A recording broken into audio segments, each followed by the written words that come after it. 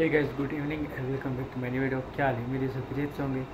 भाई तो आज छब्बीस अप्रैल वेडनेसडे आज तो अभी सेवन फोर्टी फोर हो रहे अ, मैंने यार सुबह से कुछ नहीं किया था।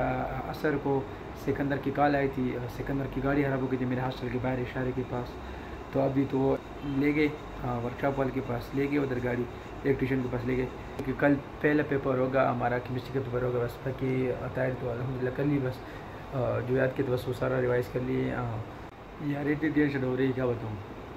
अंदर से जो फील मुझे हो रहा है ना, कल क्या होगा, किस तरह पेपर होगा, ये फाइनल पेपर है, ये सही नहीं हो जाए तो फिर किस तरह होंगे? तो बस ये टेंशन यार, बस ये टेंशन इंशाल्लाह कल पहले पेपर हो जाए, उसके बाद फिर पता लगेगा कि सेंटर किस तरह मतलब एग्ज़ामिनर किस तरह है। ये चीज़ों को पता चल जाए। बाकी तो इतना वो नहीं है। चलो यार, जो कुछ होना है तो वैसे होना है। बाकी अल्लाह खैर करे। तो बस यार, आपको इन्फॉर्म करना था आप लोगों को यार।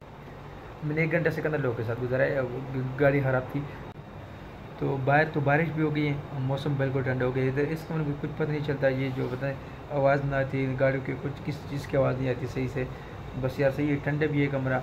अब मैं बस दोबारा रिवाइज करने बैठता हूँ। देखिए मैंने बैग भी तैयार कर दिया है क्लिप बोर्ड ये देखिए ज्योमेट्री भी तैयार हो गई है।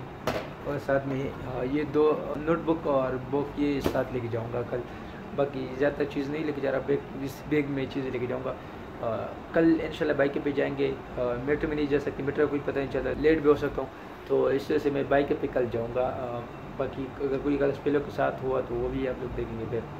तो ठीक है, आज का लगी करते हैं। उम्मीद आप लोगों को पसंद है, अगर वीडियो पसंद है तो वीडियो को लाइक करना, चैनल पे तो चैनल को सब्सक्राइब करते हैं सो मच वॉचिंग अल्लाह हाफिज़ बाय यार, वीडियो बनाने का मकसद बस आप लोगों को इन्फॉर्म करना था। देखिए, बस यार, कितनी टेंशन में हूँ यार। इतनी ज़्यादा टेंशन है।